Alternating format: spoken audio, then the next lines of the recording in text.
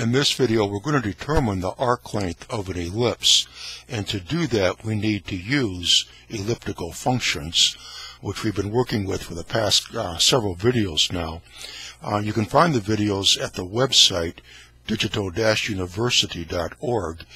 If you go there and then click where it says free calculus videos, then scroll down to where it says integral functions, you'll see we have quite a few uh, videos where we deal with the gamma integral function, then with the beta function, and now we're dealing with elliptic functions.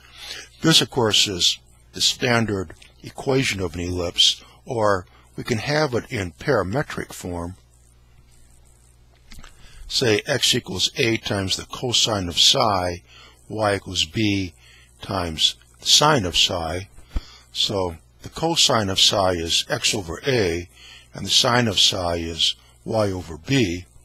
Of course, the cosine squared plus the sine squared has to be 1, which equals x squared over a squared plus y squared over b squared.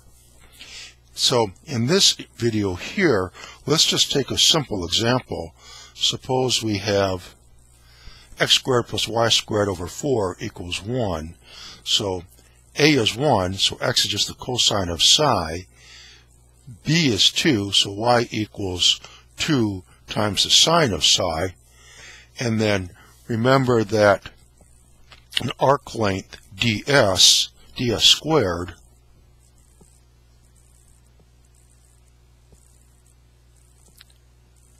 that is dx squared plus dy squared. And dx that is minus the sine of p d phi and y that will be 2 times the cosine of phi d phi. So ds squared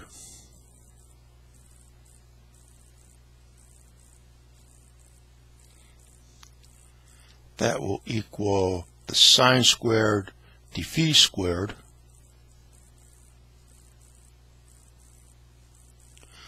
plus 4 cosine squared phi d phi squared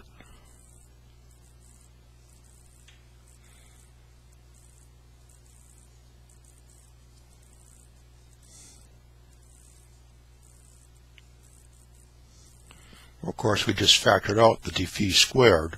And we said that this is going to involve an elliptic function, and there's two main forms of them.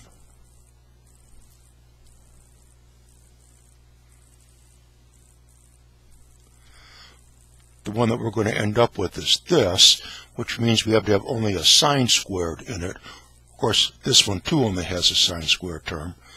But here we have a sine squared term k squared, a 1 here. We go from 0 to, in this case, theta. The maximum value theta can have, remember, is pi over 2, and this, k, has to be less than 1. It's a fraction, 1 or less than 1. So, let's go back to here. We can replace the cosine squared with 1 minus the sine squared. So, let's do that.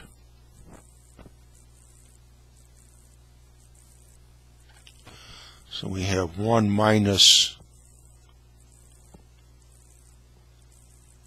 sine squared of phi d phi squared. And now let's just collect terms and take square roots of both sides. We have ds will equal square root. You will have 4 minus 4 sine squared plus sine squared, we have minus 3 sine squared phi d phi.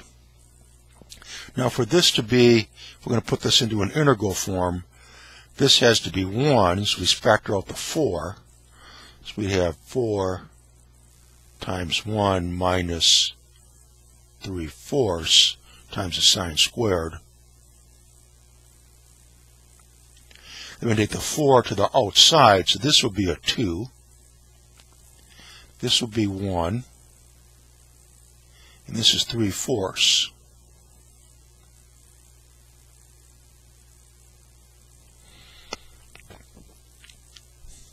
So it looks like this. Now, we have to remember for an ellipse, it's not a perfect circle, of course, but we are going around 360 degrees.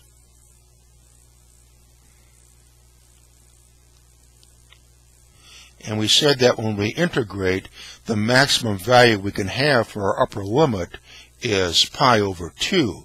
So the maximum value then is just going to be for that we're going to get for ds. It's going to be one fourth the arc length then. So what we have is putting our integral signs in. And phi can go from 0 to pi over 2. Put the integral sign in here, this will give us an arc length S, but that is only going to be one-fourth the arc length for the entire ellipse, because we can only go 90 degrees here. The maximum value that phi can have is pi over 2. So this is going to be S over 4, where S is the arc length of the entire ellipse, and this is an S, not an integral sign. So this is the arc length of the entire ellipse divided by 4 because we can integrate only up to pi over 2, uh, not 360 degrees. So this equals, take the 2 to the outside, we have again the integral 0 to pi over 2 times the square root of 1 minus 3 fourths sine squared of phi phi. And remember when we had the uh, integrals in standard form,